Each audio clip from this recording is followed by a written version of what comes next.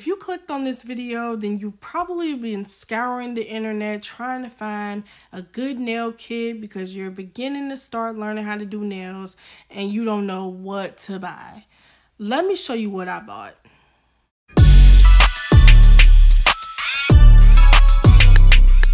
Hey y'all, welcome to my channel. I'm Shawnee and this is the Nail Sanctuary. So in today's video, I want to show you all what's in my beginner nail kit. But before we get started, happy holidays! I hope you enjoyed your Christmas if you celebrate. Mine was amazing and I got the best mama in the world, period. So I bought this cute little case off of Amazon. It's a makeup case, but I'm using it for my nail stuff and it works perfectly fine for that just to hold some more of my essentials. So today I kind of curated what I bought when I first first started wanting to learn how to do nails. This is pretty much the products that I have bought. So let's get straight into it. The case actually comes with this latch and it has a key that comes with it too. So that's nice if you want to lock up your stuff. So I have this organized kind of how I would, you know, grab products when I'm first starting a set. So on this top row, I have my essentials of when I'm first starting a new set on myself or either my practice hand. So one of the first things I bought was this Mia Secret dehydrator and primer. These work amazing. You guys have seen me show these in previous videos. I use them all the time. So yeah those are essential. You need those. And then i have this nail brush here. This i use to you know clean off the dust. You know after you're done filing you want to clean off that dust with some alcohol or whatever. That's what i use that brush for and it comes in handy. I have a bunch of these, so I use those. Once it runs its course, then I'll throw it away and I'll grab another one. And these here are some gel polishes that I bought. They actually came in a set like this. These three is the base coat, top, um, the gel top coat, and the matte top coat. And I'm gonna be honest, y'all, I don't really use that base coat at all let me know if I'm wrong by not doing that. But um I probably am. But anyway, so the matte top coat and that gel top coat work wonders. I'm actually on the market to, you know, find some new ones just because, you know, I like trying new stuff. So, but these actually work well. They weren't that expensive. So I'll have that linked in the description box if I can find it. If I can't, I'll try to see if I can find something comparable. But yeah, those work great, y'all. Love them, especially the matte top coat. It, yeah, the matte, it does what it's supposed to do. So the next thing I wanted to show you all is this cuticle oil and it's called milk and honey I think and it's pretty good it actually you know makes sure that my cuticles stay hydrated and yeah, I, I, like it a lot. So I've had this for a while too, so it lasts a long time. The bottle was pretty full when I got it, and I think it's not even halfway gone. So yeah, love it. So in this next little section here, I have some nail glue. I've showed these before. This is the KDS glue if you do nails, then you know about this glue. Everybody talks about it. It works great on my actual hands. Love it on that. But on my practice hand, this glue is a nightmare. So I don't really like it on my practice hand because it takes a long time for me to glue the tips on that. But on my actual hand, it does what I need it to do. So I love it for that. I actually used it to glue on the tips for this set that I have on right now that you all saw me do in my last video. But yeah, I like it a lot.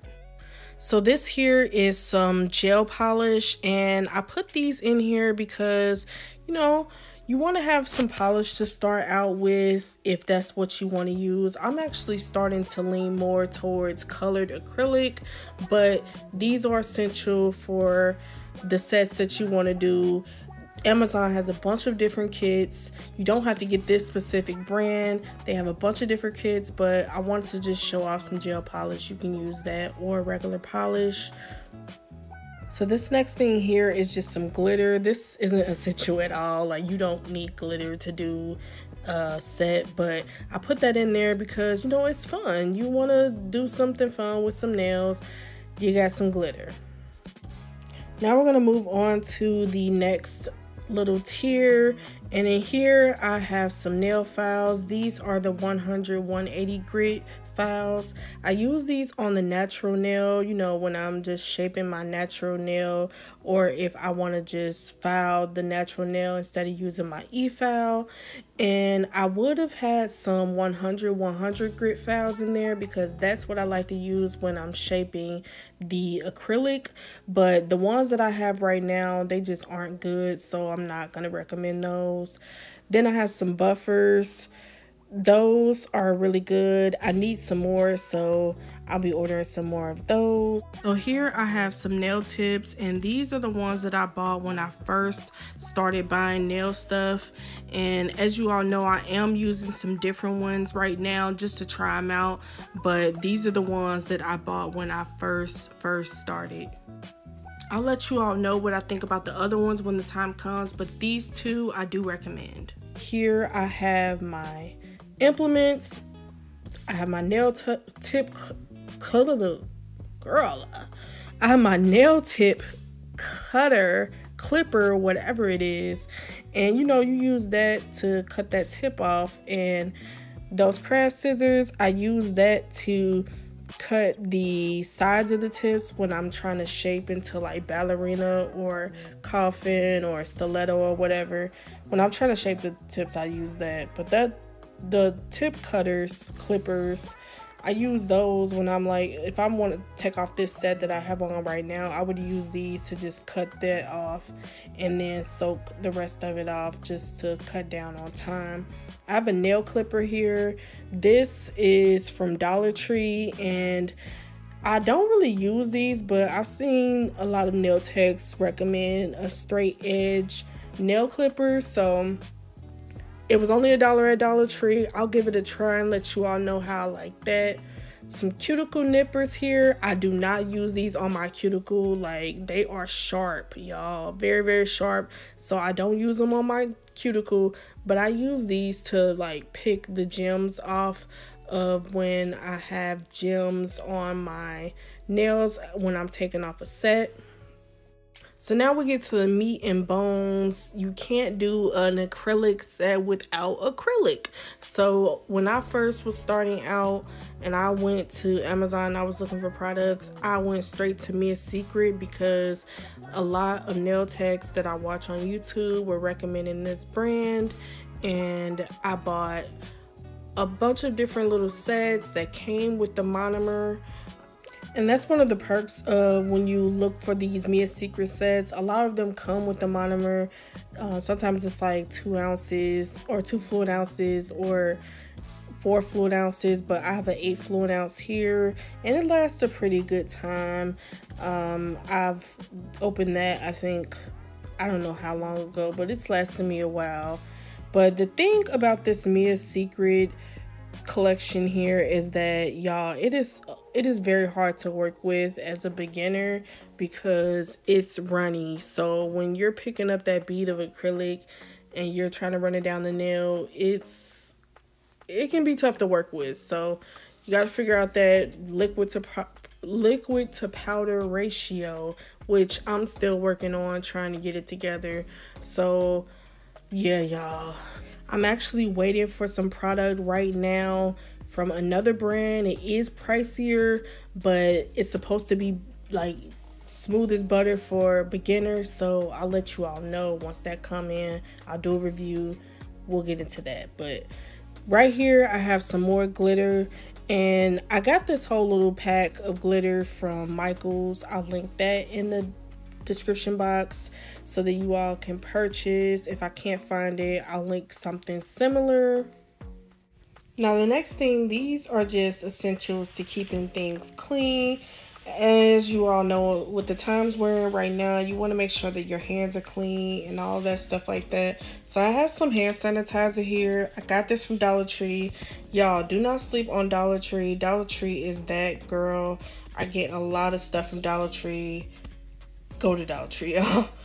Uh, I forgot to mention that I use a cuticle pusher too, but it's not pictured here because I couldn't find it.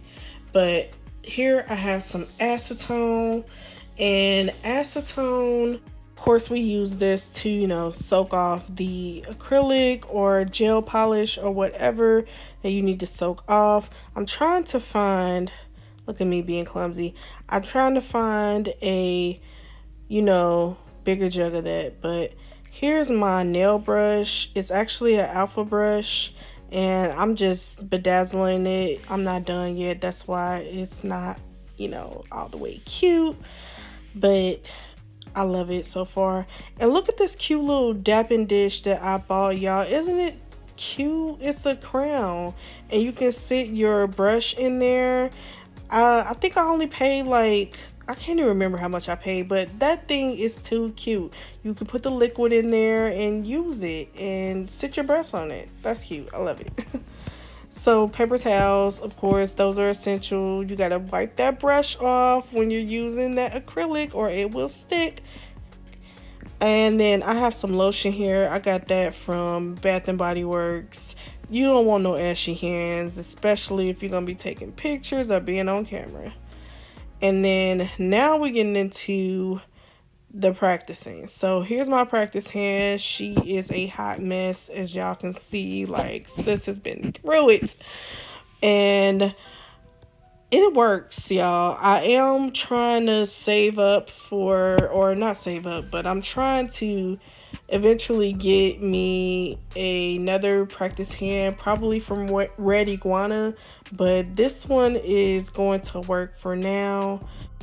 So next here I have my e-file and you know what we use this for. This is for the drilling of those nails and I've used those little cheap ones, you know, the little $20 ones that a lot of people get when they're just starting out. And to me, they're not worth it. It's just a waste of money. This one is a little bit pricier, but to me, it is worth it. I use it all the time. It gets the job done I love it. It's the MelodySusie Scarlet drill. Go get this, y'all. It's good. My actual drill bits that I use with the drill, those need to be clean, so I didn't have those to show. But these are the sanding bands that I use with my e-file to uh, get the shine off of the natural nail. I think these ones are the 180 grit or they might be the 240 grit, but those are the fine ones. So those are the ones you want to use on the natural nail. You don't want to use a coarse one because it will it will damage your natural nail. So yeah. And here I'm just showing you all the difference between the two sanding bands. That one that I'm holding on the right, you can tell that that one is a coarser grit and that's the one you don't want to use on your natural nail. But that one that I'm holding right there, that's a finer grit. So yeah, I use that on the natural nail. Next, I have my nail lamp and you all have seen this in my affordable nail art haul I'll link that in the cards so you can watch that. This, I told y'all would tell y'all if I like it. It is good, y'all. I like it a lot. So far, so good. I'll let y'all know what I think in a few more sessions of using it, but it's doing what I like. It's good, y'all. Next, I have some alcohol, and in conjunction with the alcohol, I use these lint-free wipes. They're good to make sure that you're, you know, cleaning the um, nail or you know wiping off some polish and you don't have to worry about lint if I haven't said it already everything that I'm showing y'all it was bought off of Amazon unless I specifically say that I bought it somewhere else then I just have some gloves that I use for when I'm practicing and these come in handy so that my skin is not constantly coming in contact with different chemicals and right here I have some bling that I got from AliExpress. And you don't have to spend a whole bunch of money on, you know, the bling. A lot of people use Swarovski, but those are expensive. When you're just starting out, you want to use stuff that costs less because you don't want to waste a bunch of money on stuff if you don't know if you want to do this full term. So these I got like I said I got them from AliExpress and they were super cheap. The only downside with AliExpress is it takes a long time with shipping. I think when I had bought a bunch of stuff it took like maybe a month or two to get to me but it was worth it because the stuff is cheap y'all. Cheap cheap and it's good quality too so don't mistake cheap for bad cheap just means it didn't cost that much money then I have a bag of these droppers and I use those to, you know, dispense the uh, liquid monomer. They're disposable, so use it and then toss it when I need to. So this here is one of the first things that I bought. It's the Mia Secret Nail Gel Resin. It works really good to glue on the bling that I showed. So I love that. And then the next thing that I have here, some Barbicide wipes and these barbicide wipes I use to make sure that I'm disinfecting my nail table. I don't want to pass any germs to myself or to anybody else if I were to practice on them.